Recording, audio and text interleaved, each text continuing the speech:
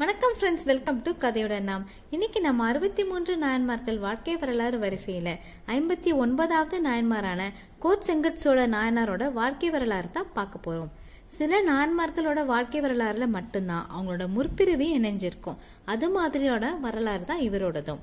இவரோட முற்பிரிவில் இவர் ஒரு சிலந்தியா பிறக்கிறாரு. காவிரி கரையோரம் ஒரு மரத்துக்கீழே சிவலிங்கம் இருக்கு. மக்களும் அந்த பக்கம் போறாங்க வராங்க சாமி கும்பிட்டுட்டு போவாங்க. அந்த மரத்துல தான் இவர் சிலந்தியா இருக்கிறாரு.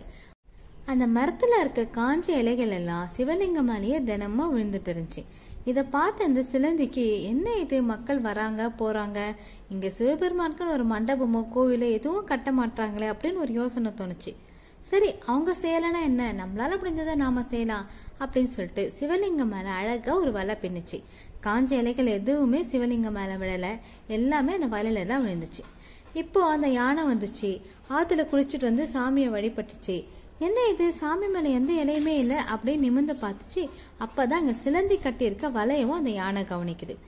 இந்த சிலந்தி பத்தியா? எச்சில் நூலால சாமி மேலே வலைய கட்டி வச்சிருக்கு அப்படின்னு சொல்லிட்டு அதோட தும்பிக்கையால அந்த வலைய பிச்சுட்டு போயிடுது அங்க சிலந்தி வந்து பாக்குது இந்த யானையே இப்படி செய்யுது நம்ம சிவபெருமானுக்காக ஒரு வலை கட்டி வச்சிருக்கோம் அதையே பிச்சுட்டு போகுது அப்படின்னு சொல்லிட்டு மறுநாள் மறுபடியும் வலை கட்டி வைக்குது சிலந்தி யானையும் வருது சாமி கும்பிடுது. என்ன இங்க மறுபடியும் வலை இருக்குன்னு பார்த்துட்டு அந்த வலையை பிச்சுட்டு போகுது. இதே மாதிரி தினமும் நடந்துட்டே இருந்துச்சு.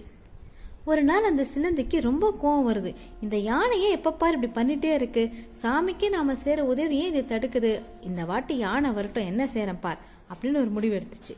அதே மாதிரி வலையை கட்டி வச்சுச்சு. யானையை அதை கலைக்கிறதுக்காக தும்பிக்கை எடுத்துட்டு வரும்போது யானையோட தும்பிக்கைக்குள்ள நுழைஞ்சிடுச்சு சிலந்திக்கு கொஞ்சம் விஷத்தன்மையும் இருக்கும். தும்பிக்கைக்குள்ள போய் தும்பிக்கையை கடிக்க ஆரம்பிச்சிச்சு. வலி தாங்க முடியாத யானை அந்த தும்பிக்கையை ஓங்கி ஓங்கி மண்ணில் அடிச்சு அடிச்சு யானைக்கு தும்பிக்கை தான் பலமே. அதில் அடிபட்டா அது உயிரே போயிடும். அடிச்சு அடிச்சு அடிச்சு அது உயிரையே விட்டுருச்சு. யானையும் செத்துருச்சு. உள்ள இருந்த சிலந்தியும் செத்துருச்சு. இறைவனுக்கு சேவை செய்யறதுக்காக போராடி தன்னோட உயிரையே விட்டனால அந்த சிலந்திக்கு சிவபெருமான் ஒரு வரம் தராரு. சுபதேவன் கமலவதின்ற தம்பதியர்களுக்கு மகனா பிறந்து ஒரு சோழ சக்கரவர்த்தியா சிறப்பா ஆட்சி பண்ணணும் அப்படின்ற வரமும் தராரு.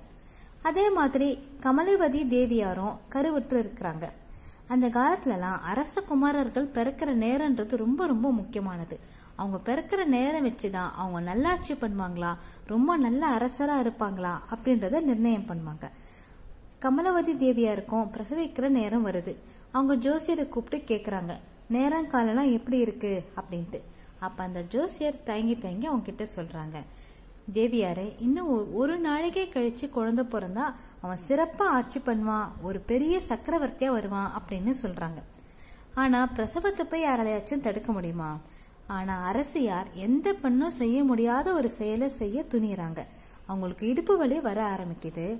அவங்க தோழியர்கள் கிட்ட சொல்லி அவங்க காலை கட்டி உத்தரத்துல தலைகீழ தொங்க விட சொல்றாங்க. ஆனா யாராச்சும் இப்படி ஒரு வேலையை செய்வாங்களா? தோழியர்கள் இல்ல நாங்க இதை செய்ய மாட்டோம் அரசி இதனால உங்க உயிருக்கே ஆபத்து அப்படின்னு சொல்றாங்க.